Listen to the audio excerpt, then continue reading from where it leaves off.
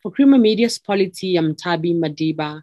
Joining me today is former Springbok rugby player Schalk Burger Sr., here to discuss his co-authored memoir titled Just a Moment. As a person who dreamt of becoming a designer of Formula One racing cars, how did you end up becoming a rugby player? It's just fate. I think, you know, uh, what happens to you sometimes in life. Um, you know, because uh, I was going to leave South Africa in 1974, which many years ago. At that stage, now I was playing a lot of sport, provincial sport in cricket and rugby and so forth. And then, uh, you know, I realized uh, I'm, I'm too big to become a Formula One racing driver. That's what I actually wanted to become. So I started corresponding with Tyrrell and the Formula One teams and how can I become a designer? And the Birmingham School of Design was the place to go. And so eventually um, I got accepted, but they wanted to, to work for two years in a racing team before we went and studied uh, the practical side of things. And um, what happened then was my brother was a year behind me at school. And he said, uh, maybe I should uh, just go do the army. And then the two of us go overseas together. And that was the first mistake that came about. So I went to the army. And then in September, I had this phone call of Dr. Craven stating uh, he would like me to come to Stellenbosch University and play rugby. I said, no, I'm going overseas. I'm going to design cars. So he said, Are you, why would a rugby player like you want to play with cars? And uh, so I thought, and then I had to go back to my brother and I said, maybe we should first study post school. And then once we've got our you know, studies through, we can go further. He said, well, what am I going to do? I, I'm not expecting anything. So I eventually got myself into Stellenbosch to do a B-commerce degree. And I got him into a teacher's training college to become a teacher. And uh, then the plans all just changed from there. We never got to go overseas. And tell us how you became the first white Springbok selected from a colored team. It's also a bit of a long story. Uh, in 1981, I wasn't selected. Uh, you know, I had certain political beliefs in, in my life, and, and you know, the story in a way is also just telling uh, a story of, of a white guy living in a in a funny world, you know, if I can call it as such, which it was. My background wasn't the traditional Afrikaner background. Uh, you know, I'm Schalk Willem Petrus Burger and I belong to the Dutch Reformed Church. My dad was an Afrikaner and he was a bit of a far right guy. During the Second World War, he belonged to the Ossewa Brandwacht.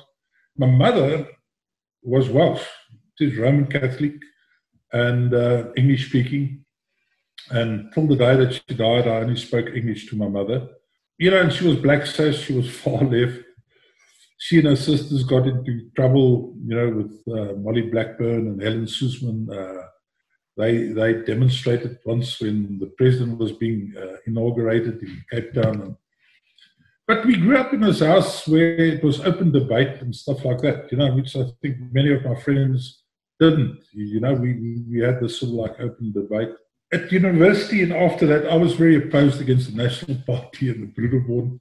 And being young, I was quite vociferous about it. And I just remember the Springbok team at that stage was very much controlled. You know, the Broederbond was very involved. They tried to get rid of Dr. Craven. So uh, it's very much like certain political parties these days. You know, everything was, you had to conform. You know, if you didn't conform, then you were sort of like against. And when I got to the Cape, uh, I played for Western Province and then went and played for Eastern Province. And there was a lot of bad blood between Eastern Province and Province at that stage, which many of the people know about. And I came back and one evening at a practice. And remember those days we were in sports isolation. There was hardly any tests being played in South Africa. You know, there were embargoes against us. And this evening at a practice, uh, there was a bit of a fight. And I'd knocked out a few guys and they said to me, okay, you must leave the field. So I said, I'd never want to play for Western Province again in my life. What happened was I walked off the field and I said, well, that's me finished with rugby. And the following morning, a, a wonderful guy, uh, Dougie Dyers, you know, who was with Cycles and had started the Federation Rugby and everything, he phoned me and he said, will I be willing to play for the Western Province League, which was predominantly a coloured team. They only had like two to three white players playing. Now, you must know 84 was uh, difficult times in South Africa, especially, uh, you know, in the Western Cape, uh, the UDF was in control, and, you know, let's call it your non white areas, was a lot of riots and stuff going on. And uh, the captain of the league was Pompey's Williams who uh, worked for me. Can you believe it? And then I said, okay, uh, I will play for you guys. So I started playing for the league. So we went all to these smaller little fields and stuff like that. And then Western Province and Jan Pickard, who's the president, phoned me and said, I must please come and play for Western Province. I said, no, I'm not going to. And uh, then I played for the Federation against the Lions and had a very good game. And the actual the Saturday, when all young white guys would play for Western Province and try and get into the Springbok team. And I remember 84, I was not a Springbok anymore, and we all knew it would be maybe the last time for maybe eight to nine years that somebody could become a Springbok. And uh, I actually played a curtain raiser for Western Province League against Southwestern Districts to the Western Province team who then played against England and the John Scott team. And that evening, the Springbok team was announced. And obviously, I'd never thought I'd be in the team. And I went out for dinner with some friends. In the meantime, there was this frantic search for me. Where are you? You, you know, because. And eventually, there's a guy was taking photographs. He used to go from restaurant to restaurant. And he came in and he said, Oh, yeah, you are. I said, What do you mean, yeah? I said, Congratulations, you're a Springbok. And I said, it can't be. And uh, so it came, you know, to this day, I'm the only white guy ever to become a Springbok out of a non white team. And my book is about that. It's a, it's a funny combination of stuff. You take decisions in life, uh, some wrong, some right, and some you don't understand, but you, you know, you've got like an idea in your life. And, you know, I always thought what I did in the beginning was the right thing, and that's how it came about. I've never made a big thing of it. But you know, I go to the federation uh, meetings and stuff, and I've got wonderful friends still there. You know. And why did Daniel Cheeky Watson ask to wash your feet and begin the process of forgiveness between the Watson and the Burgers families? Well, I don't know. I think it, it was political, and you know, I'm not political, and I can say it now. But with the Watsons, there's always a political undertone, and I'm not so certain how. Um, you know, honest they are about their meeting, you know, you know their meaning of certain things. It, it happened with Graham Power that came to my first phone me and he said, uh, the dear Lord had appeared in front of him and he's got to see me. And I ended up saying, well, I'll see you. He came and he had a very long prayer and everything. And then he came out and he said, but Cheeky wants to wash my feet. So I said, Yeah, but why would he want to wash my feet? I've done nothing against him. My son was in the Springbok team and his son was trying to get in the team.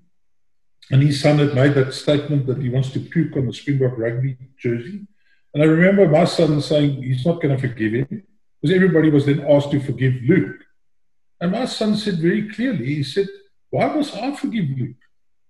You know, he, he made the statement against the Springbok team and he said, When you play for the Springboks, you take an oath. Any guy playing for his national team, you take an oath for the traditions and the morality of the team. So he said, Luke should actually uh, ask for forgiveness from me, which, you know, I accepted. And then I realized there's a bit of a political play because uh, Graham Power was involved in Western Province Rugby and Luke and Schalk were playing together. And I think it went about the captaincy it ended where I said, okay, I'll come to his house. I went to Grandpa's house that Sunday, and then Cheeky arrived. Then he started telling me I'm an Afrikaner and I'm this and that. I said, well, Cheeky, let's just stop it. Just stop it. I know you from 1973. You and Mike Ryan shared a room above me when we played Craigmead. I know you from Port Elizabeth. I know Dan Valence and Gavin, who's now sadly passed away. I said, What's this all about? Then I said to him, Yeah, but you people don't understand black and whatever. I said, Cheeky, what are you talking about? I said, Uncle Dan Qeqe, who was at that stage president of Kwaru, the KwaZulu Rugby Union. I said, You don't even know that what guys like me and Johan Rupert did for Uncle Dan. I said, You know that that fence around. And I tell the story. You know, the security piece at that stage was after me. Why? Because I uh, employed Norman Nshinga, who had been in Robben Island. And in my book, I tell the story how he came into my room when he was chairman of the Eastern Province Rugby Union. And people today don't understand, because many people even those days understood what was going on, you know, in the realm of white Afrikanerdom trying to dominate and control everything. I was a different thinker about it. And you know how crazy it is. I'm captain of Eastern Province Rugby. I'm trying to employ, for the first time ever, there was not a sales guy till 1979 ever employed by South African breweries in the Eastern Cape. Then I got told I'm not allowed to employ this guy. And Norman was a wonderful guy, beautiful guy. And he told me all the stories, and I said, How did you get me into trouble? I eventually employed him. He took me to see Uncle Dan, and Uncle Dan had these wonderful people on his committee. I mean, Silas Nkanunu, who later on became president of SA Rugby, was his treasurer at that stage. Max Boqwana, who's now the CEO of the Thabo Mbeki Foundation, was doing his articles uh, for Silas Nkanunu at that stage. So uh, I said to him, listen, th- this is my background. So don't you come and tell me if you don't understand me. And then they started praying him and grandpa, and it made me very, very uneasy. Eventually, he said, Well, can you wash my feet? I said to him, No. So he said to me, Why? I said, This thing is political, and I'm not a political person. You know, I've got nothing against you, whatever, but I know tomorrow you're going to go to the media and try and say, because remember what happened was he, that's Cheeky Watson, he went to the media and said, There's a third force controlling South African rugby, which is the biggest lot of hogwash. So much so that and Rupert uh, named a buffalo bull that he, uh, uh, that he bought, third force. And we were trying to control SA rugby and everything. I mean, it was absolute hogwash. I mean, where can anybody show where we were involved? All what we once did is we spoke about people when they tried to fire Jake White prior to 2007. We said this is a political issue. So just stop it. Let rugby decisions be taken. And just remember, the Watsons have always tried to control stuff from behind, which it's been proven. Go and see what Gavin did and everything, and all the Watsons were involved.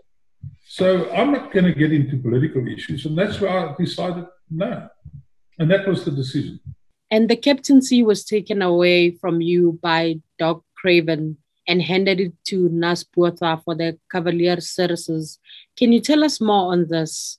There were a few things. The one was political of sorts, and why I knew about that was the guy who was general manager of South African rugby, uh, Alex Kellerman, was my father-in-law's best mate, you know, from Port Elizabeth. And he said to my father-in-law, please tell Schalk to stop with these political issues. Now, it wasn't that there were political issues, just that I despised of the Broederbond from an early age. And I've been asked this a lot since I wrote it in the book. And I'm at the stage where I'm just saying, that was my opinion about life. I didn't want to be involved with the Broederbond, you know, and there's no ways that I could get involved with the Broederbond, you know, having a mother that's Roman Catholic or English, because then, then you were just bad blood. So what happened was there were two things. The one was that although I captained the last 18 final trial, and you know, Naas Botha wrote in his book also that I was going to be the captain. There was a big piece in the newspaper, a photograph of my son who became Springbok and his brother and my wife in the report, is this the next Springbok captain? What had happened was I'd found out that the Cavaliers were coming to tour here when I played for the World 15 in Cardiff, in Wales. And to think I could have played for, for Wales because of uh, my mother, you know, and my son could have played for Wales. And I also found out how much they're going to be paid. So I started negotiating with South African Rugby to get money for the players. Now, obviously, this was a no no for South African rugby because we were supposed to be amateurs. So much so that the Dr. later them came to see me and said they're going to chuck me out of the team and everything. And then I picked up this document and I said, What about this? Doc Craven signed this document. You guys are paying him XYZ. So they said, Where did you get that? We need that. I said, No, you're not going to get that. You're still going to pay us. So in this negotiation period, because Craven was on record saying, he is going to declare me professional. If you were declared professional those days, then you were chucked out of rugby. so it was interesting times, you know, from, from both sides. Uh, I was maybe incorrect, but I stand to this day by that. That I did, you know, Francois Pienaar always tries to say he was the first guy for the Springboks to stand for money and stuff like that, which is incorrect. The first time the Springboks were paid was in 1986. And it was the Thursday night before the fourth test at Ellis Park when Dr. Luyt and Jan Peacock came in and they gave us our checks and I could pay the guys a dividend. In one of the chapters in the book, you talk about how your youngest brother, Paul, broke your heart, causing you and your family immense hurt. Can you tell us more about what happened and how you dealt with what went unsaid between you and Paul before his death? Yeah, look, it's a it's, it's a sad situation. Um, you know, my mom and dad separated, never got divorced, and uh, we were staying in a what today will be called a hop house. You know, we were staying in the less privileged area, you know, of, of a homing, you know, a, a, municipal housing scheme. My youngest brother was very talented. Paul was very talented, but uh, I think my mom, because she had to start working and she walked very far, you know, she walked about five and a half, six kilometers to work every morning. And she started work at seven. And, you know, I was delivering newspapers from five o'clock in the morning, you, you know, from age of 13, 12, 13, and working every holiday. And Paul was just, you know, he was just this spoiled kid, you know, he didn't actually worry what was going on. And then later on in life, what happened was, and that's where I found out if you haven't got a structure, stuff around you, things can go horribly wrong, you know. And post school, he, I put him and paid for his first year at university. He only completed not even a quarter of it, and then just left. I tried to help him. I gave him a car. He just he lost the car, you know, and so just exacerbated. And uh, and then eventually, I think uh, talented people get to a point where they realize they've lost the plot. You know, he, he cannot. He's not going to make it like he should have. You know, he's the first guy to be granted the right for Soviet jeans in South Africa. He went and he stuffed that all up. I tried to help him. Eventually, I employed him on the farm and uh, it was just a crazy period in our lives. You know, he tried to dominate everybody. He was good looking, clever guy. And I think he, he then just felt he, he's lost out. You know, my whole life, the only thing I knew every morning, I had to wake up and uh, to work, you know. Uh, I mean, this year has been more than 50 years that I've been looking after myself, you know, and some people don't understand it. But then he started doing funny things. And maybe it was, uh, my wife says it's, you know, eventually died of this brain tumor.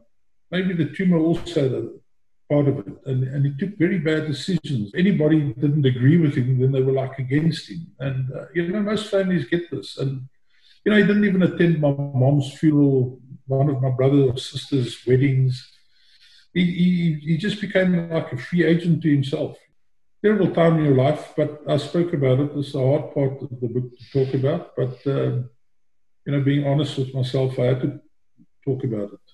And briefly talk to us about the current state of coaching in South Africa, as you highlighted that you don't think there is highly intellectual coaches in modern rugby. Well, you know, it's an interesting thing, and we're seeing it now again. You just gone through a weekend where we should have beaten the All Blacks. I mean, if ever we have had an opportunity to beat them, it was because they were bad. We've also been through a weekend where our three top teams, you know, I mean, the Sharks, the Bulls, and the Stormers have lost overseas to not of the best teams. And the big thing is, you've always got to redefine yourself and reinvent yourself. And what I base the whole debate on is uh, in our days, I had a lot of respect for all the guys coaching. They were they were intellectual guys. They were people at other jobs. That, you know, uh, they were leaders within the realm of people and stuff like that. And just remember, I believe the closest game to rugby is chess. They're both war games. You've got your pawns up front that've got to do a certain job, and they're dispensable. And then behind them, you've got your bishop, your castle, similarly in rugby, you, have got your forwards and then you've got your backs. So you've got strategy and you've got to work out strategy to beat the other team over a period of time.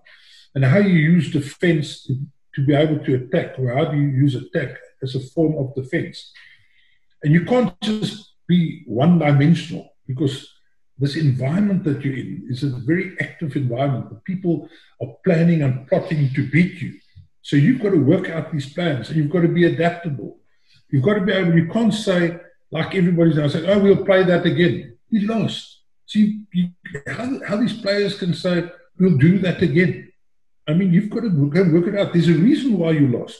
And understand the reason. And people don't like change. The biggest inbuilt resistance anybody's got is to change. You drive to work every morning, and it's fine. And one morning there's a, a there's a tree that's blown over, and and you're disillusioned. You've just got to drive around the block, and that's how people are. If you don't understand that you've made a mistake, why change?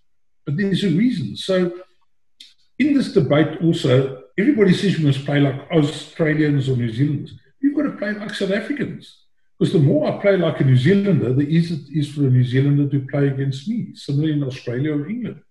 And we've got the best weather in the world. Because most of the places where our players uh, play, the winter doesn't rain. We're summer rainfall areas. So we must be able to handle the ball and run and, and attack. Here we go against the New Zealanders. We have these two great opportunities to score tries in the last six minutes, and, and we just get rid of the ball. And nothing against Jacques Nienaber, but I mean, your whole life, if you've been telling everybody you're the world's best defensive coach, how are you going to coach attack? And this is where I'm starting to, to worry about it because the, the intellectual side of rugby is much higher than most people think. And if you haven't got that in your mind, in your mindset, because once you get under pressure, what do you do? Your reaction is to what you normally do.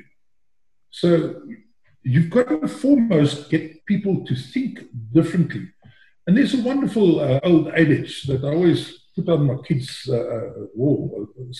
The desire to win must always be greater than the fear of losing. So if your fear of losing is greater than your desire to win, you'll always be more defensive. And that's why rugby, there's an advantage for the attacker. There's always been an advantage for the attacker. They're trying to force it in to, yeah, if you kick and this and whatever. But that's my opinion. And, and I believe rugby is, is a total game. You know, it's one of the unique games in the world, other than soccer, where everybody's similar size. In, in our in, in rugby, you can get a guy like me or can be a sumo wrestler playing with somebody like a Faf that can be a, a, a Olympic gymnast. Because each position's got those unique physical attributes. So uh, I'm just passionate about the game and what it stands for. And lastly, tell us about your love for farming. When did it begin? Well, my love for farming began was probably, you know, us never owning a farm, whatever. Me working on uh, in, in holidays on the mate of mine's farm, you, you, you know, and uh, and what I, I, learned to prune and look after people picking grapes and stuff, and and, and I've, I've got a bit of a, a love for the vine. So what happened was. Uh, I always thought it would be really nice if I could own a wine farm one day. And uh, so I worked very hard. My first bits of money, I bought my first wine farm. And then obviously I had to uh, invest in the cellar and stuff. And I think it's the same thing about rugby. It's the basics, you know, uh, the vines, you, you, you know, the roots of the soil that they're in, and how do you work around that? And uh, it was just a passionate thing. That was Schalk Burger Sr. speaking to Creamer Media's Polity about just a moment.